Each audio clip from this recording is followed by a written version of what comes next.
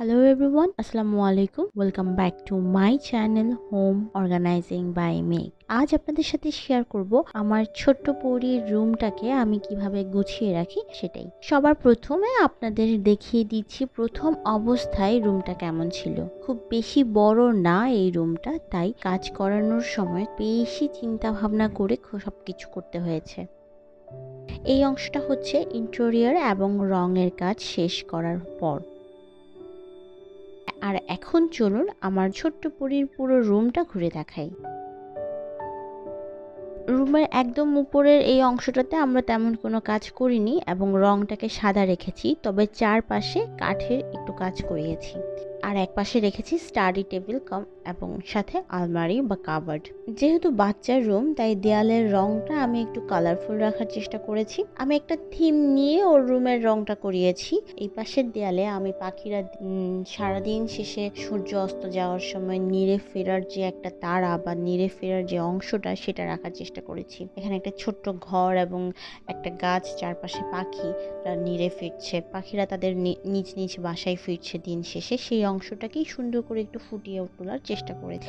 আর ঠিক অন্য পাশে দেয়ালে রেখেছি সূর্য, আকাশ, মেঘ, পাখি এবং ঘরবাড়ি। যেহেতু এখনকার বাচ্চাগুলো প্রকৃতি থেকে বেশ অনেকটা দূরে থাকে যান্ত্রিক এই শহরে, তাই চেষ্টা করেছি প্রকৃতির এই অংশগুলো ফুটিয়ে তুলতে। এক পাশে দিনের শুরু আর অন্য পাশে দিনের শেষ।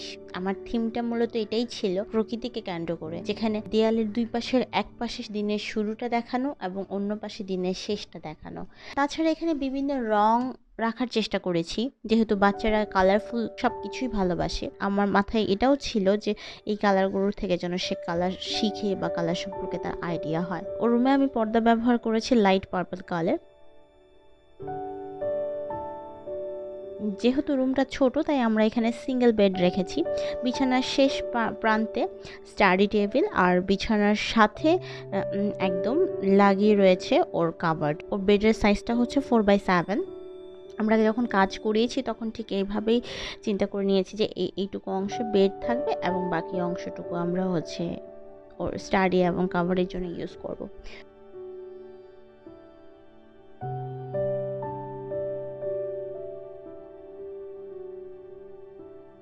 পরিটা এখনও অনেক ছোট, তাই ওর স্টাডি টেবিলে বইয়ের পরিবর্তে খেলনার অংশটাই বেশি বেশি দেখা যাচ্ছে। তবে এই পার্টটাতে আমি ওর drawing book pencil colour pencil colour pencil বিভিন্ন হচ্ছে বিভিন্ন পাজল বোর্ডগুলো রেখেছি।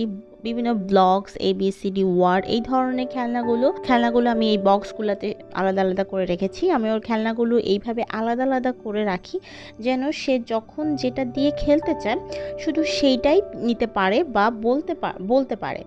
কারণ সে জানে যে কোন বক্সটাতে তার সেই খেলনা আছে। এতে করে আমার জন্য যে সুবিধাটা হয় সেটা হচ্ছে অন্য খেলনাগুলো এলোমেলো খুব কম করে। আমি অনেকেই অনেকের বাসায় দেখেছি যে বাচ্চাদের সব খেলনা একসাথে করে একটা ঝুড়িতে রেখে দেওয়া।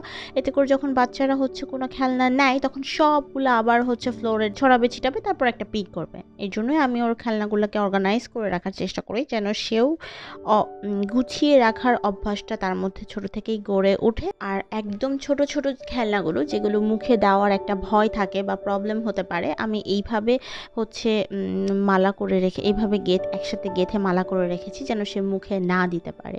আর উপরের দিকে রেখেছি যে খেলনাগুলো দিয়ে বা পুতুলগুলো দিয়ে সে এখন বেশি খেলে না। হঠাৎ মাঝে সাঝে সে খেলতে চায় সেগুলো।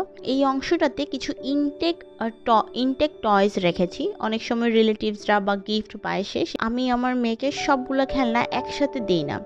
কিছু কিছু খেলনা আমি সবসময় হাতে রাখি প্রয়োজনের সময় বা ওকে কখনো হচ্ছে সারপ্রাইজ দেওয়ার জন্য বা রিওয়ার্ড দেওয়ার জন্য কোনো কিছু করলে।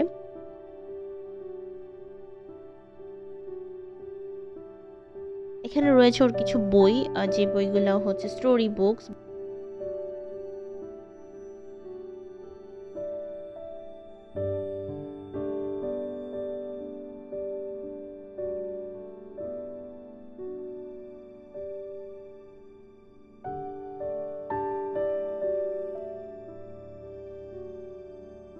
হচ্ছে ওর কিছু খেলনা আমি বিছানায় গুছিয়ে রেখেছি। একদম ছোট ছোট খেলনাগুলো আমি এখানে রেখে দিয়েছি। একটা ঝুড়িতে যা খেলনাগুলো হচ্ছে কোথাও রাখা যায় না বা হচ্ছে এখানে সেখানে পড়ে থাকলে অনেক সময় পায়ের নিচে পড়লে ব্যথা পাওয়ার সম্ভাবনা থাকে, তার জন্য আমি এরকম একটা ঝুড়িতে রেখেছি।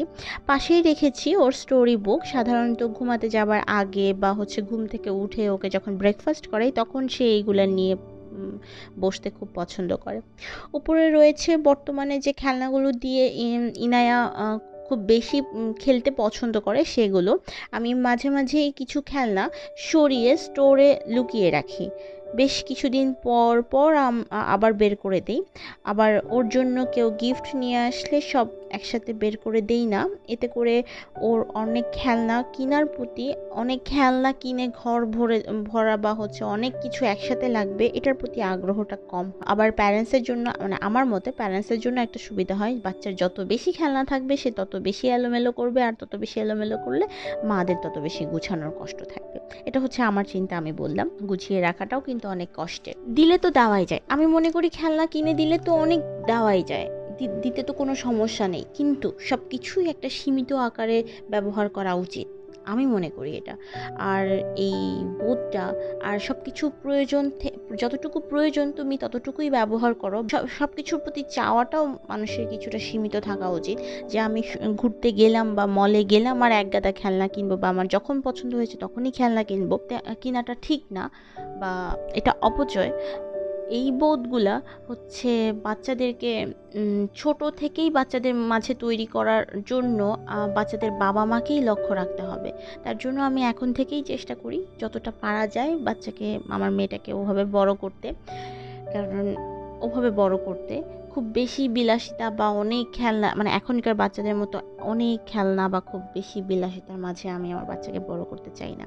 যাই হোক, রুমটা ছোট বিধায় আমি আলাদা করে ড্রেসিং টেবিল রাখিনি, দেয়ালের সাথেই এভাবে বানিয়ে নিয়েছি। এখানে ওর কিছু ওকে, এখানে ওর কিছু হচ্ছে হেয়ার ব্যান্ড কিছু ইনটেক হেয়ার ব্যান্ড বা হচ্ছে ওর কটন বার যেগুলো হচ্ছে রেগুলার লাগে না, সেগুলো আমি এখানে রাখি। সাথে আমারও কিছু আছে, যেহেতু এখনও এত বড় হয়ে যায়নি, তো আমিও কিছু আমার জিনিস এখানে রেখে দিয়েছি।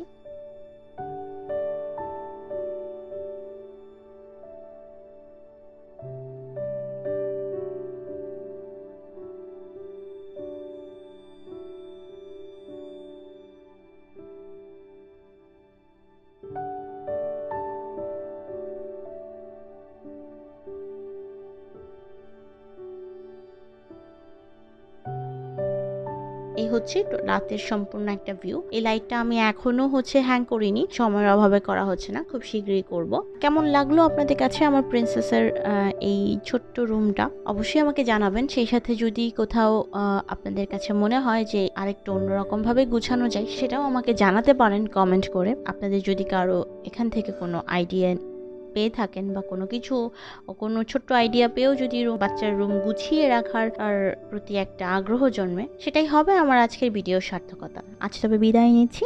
আল্লাহ হাফেজ।